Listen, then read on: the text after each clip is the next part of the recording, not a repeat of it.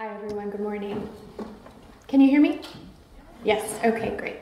Okay, so my name is Jessica Corsi, and it's so nice to be in this room. I have never been on this side of the desk, having done my master's here and my PhD here. Uh, it's really nice to be on the other side. So thanks, everyone, for that opportunity. So today I'm going to talk to you about GQUAL, uh, which, as you might imagine, stands for Gender Equality, which is an international civil society campaign, and how they're reshaping international justice, the face of international justice. They call it Changing the Picture. So I'm going to explain a little bit about what they're working on, and I'm going to focus in on the International Court of Justice. Full disclosure, I work with GQUAL. So if you're wondering, does she have skin in the game? Is she invested in their campaign and their outcomes? Yes. And we're going to focus a little bit more on the International Court of Justice today because that's what I've been helping them with over the past year, how to create gender parity at the International Court of Justice. Is the... Okay. Can you show the slide? Is that, yeah, I think, let's hit from slideshow, start from first line. Not working.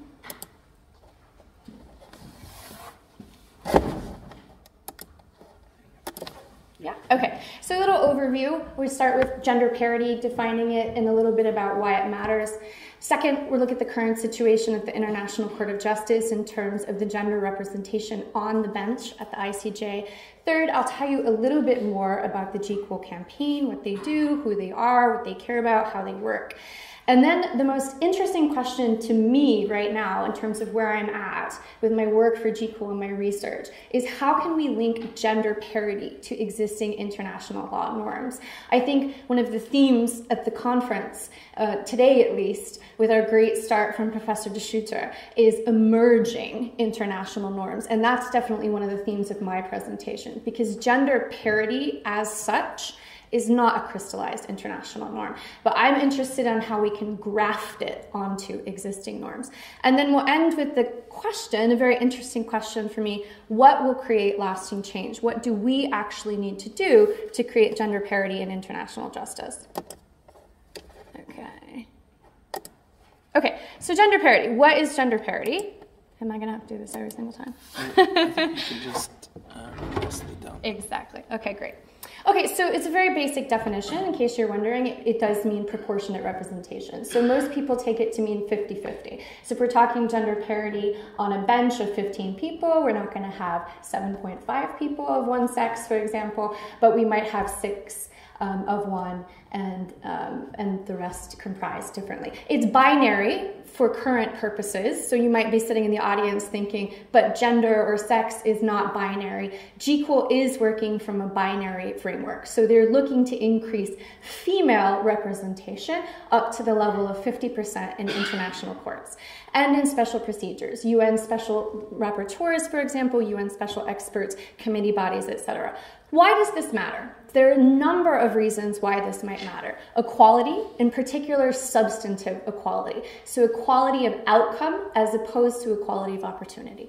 Representation, suffrage, and democracy. So, there's this notion, which we'll get into in, in a later slide, on linking gender parity to existing international norms, that universal suffrage, which has existed for many, many decades under public international law, also requires equal representation in fact. Now, this has been much more developed in terms of parliaments and domestic legislatures, but GQUAL is pushing this norm into international justice in a broader sense.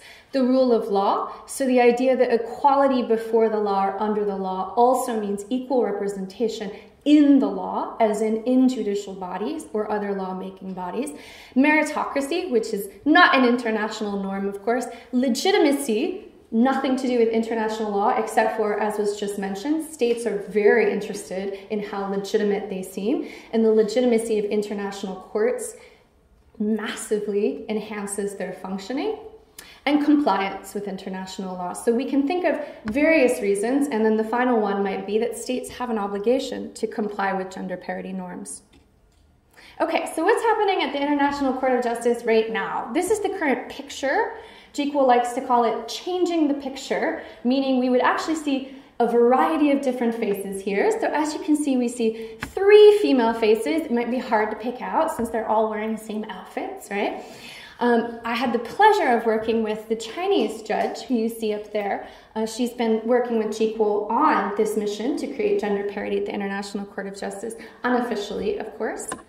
So, what's the history of gender parity at the International Court of Justice and why does it matter? I know I don't need to say in this room to these people that there's an enduring importance to the International Court of Justice, but it does bear mentioning, especially as all of you are well aware of the proliferation of a variety of international courts, which doesn't seem to be on the wane. So, why do we care about the International Court of Justice? Well, of course, it's still the principal judicial organ of the United Nations. It still has a huge role to play in terms of the peaceful settlement of disputes between states. It continues to be a source of public international law, although, of course, that's anti orthodox, right? Especially speaking from this place, Cambridge. It remains incredibly important. And also, interestingly, it's not really moving. So we've seen a lot of gains for gender parity at the International Criminal Court, the European Court of Human Rights, the African Court of People and Human Rights, less so at the Inter-American Court. But we're seeing a lot of uptake of women in these roles at different international and regional judicial bodies, but not at the International Court of Justice. So over its history since its establishment in 1946, out of 106 total members, four have been women, it's obviously a very poor record. Currently, three of the bench of 15 are women. So you can see that any of those numbers that have been gained have been in very recent years. But, as I'm sure you are all well aware of watching the elections with interest, the November 2017 election to the ICJ did not yield any female candidates nor any female judges. So there were four spots open and four men were proposed for these spots. So the demographics of the courts didn't change. So GQUAL is a campaign that's been around for exactly two years now. They're hard at work, but nothing at the ICJ is actually moving. Okay, so this is a little bit more about the GQUAL campaign. This is a picture from the end of the first international research conference GQUAL held in The Hague this past November which was fantastic. Everyone looks happy because we're all high on possibility, right? Before everyone goes back to real life and tries to actually turn this into reality. So, what is GQUAL? I love international civil society campaigns. This is one of many I've been involved in. And I know there's a lot of reason to doubt that civil society can change anything. Um, I was involved in the civil society campaign that created the WHO's first ever treaty. I was involved in the civil society campaign that created the Convention to Ban Cluster Munitions.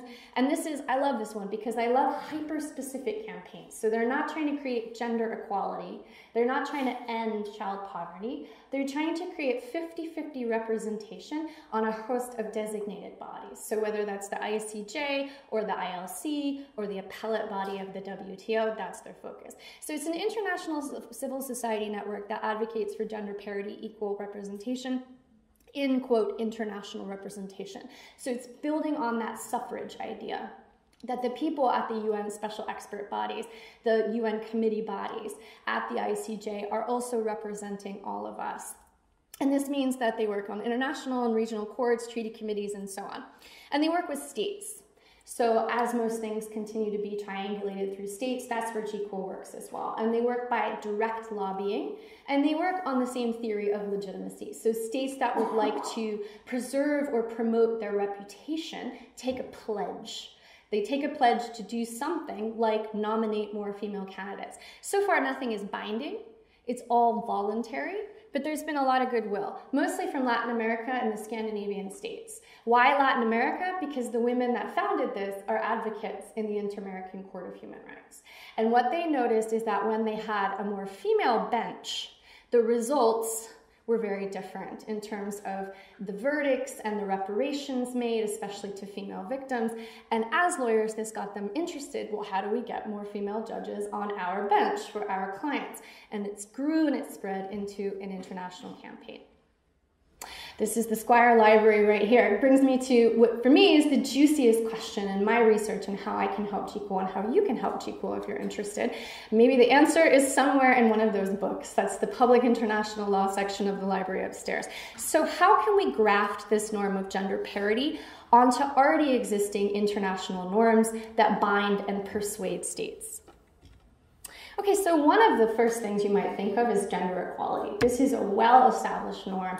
It's not in doubt at all. It continues to grow and transform. It's enshrined in almost every international human rights treaty. It's in the Universal Declaration of Human Rights. It's in very many domestic constitutions and so on and so forth. But equality does not mean parity, right? So this is about transforming the notion of equality into substantive equality or transformative equality. That's a great place to start. And the second related place to start is to look at temporary special measures to achieve equality. In other words, quotas, which is why, for example, the European Court of Human Rights does so well at achieving gender parity on its bench. It has a rule to do so. And this is well established and not contested. So CEDAW, the Convention to End Gender Discrimination, CERD, the Convention to End Racism, and more recently the CRPD, the Convention on Rights of Persons with Disabilities, all have measures asserting basically quotas or affirmative action or positive discrimination. And when we look domestically at the top 35 most equal, gender equal in terms of parity states in the world, looking mostly at their parliaments, not at their judiciary, we find that they're all using quotas in some way, either voluntarily from the political parties or as mandated even by their constitution. This is very interesting to me, number three especially for the ICJ. I would love to graft gender parity onto the ICJ's well established geographical parity requirement, right, which is part of the statute of the court and part of the Charter of the United Nations. There's no reason why gender isn't as salient a category for making a decision as geographical origin. And the reasoning underlying geographical parity, fairness, for example, representation, for example, has a lot in common with the rationale underlying gender parity. Suffrage, rule of law, and democracy, this has been supported um, by, uh, for example, the European Court of Human Rights, the notion that universal suffrage also requires equal representation in fact. That's another really interesting one. And then diversity, which you might not know as a norm in and of itself, but is closely related, related to equality and inclusion. So these are some ideas. If you have additional ideas as to how we might help gender parity crystallize based on existing international norms, I am all ears and I would absolutely love to hear it. So what will actually change the picture? This is a picture, literally, obviously, of our current global population, right? You see it's slightly skewed towards females. We're actually slightly more than half of the global population. So how do we get our international courts and our international justice bodies to look more like this, to look more like real life does? We're going to need the commitment of states. So that's why, even though it's a civil society campaign, GQUAL continues to focus on pledges of states. But it's going to have to be more than a pledge. It's going to have to be something much stronger than a commitment. Um, we're going to need to see the articulation of parity as a right and as a value, right? So that's again where that juicy question comes in. What international norms might be moving towards parity?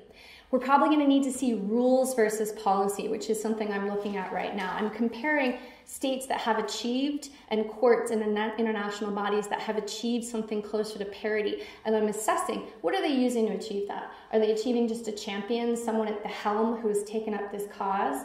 Is it goodwill? Is it based solely on a policy that's not uh, punitively enforced? or having any requirements in my preliminary research, it looks like we're, we're, going to need to move towards hard and fast rules. And primarily, we're going to have to focus on substantive or transformative equality. So if we continue to look at equality of opportunity, bias and structural inequality is going to continue to be a barrier to women serving at the highest levels of the global judiciary. And of course, we need continued pressure from civil society. So if this is the first time you're hearing about GQUAL and you're thinking, well, that's very interesting, I would also like to see gender parity and international justice. It's a very inclusive and welcoming campaign, and it's always looking for researchers in particular to contribute to its cause. Um, so I think with all of these things combined, with an emphasis on rules, which of course might take the will of the states, we will get closer to changing the picture. Thank you very much.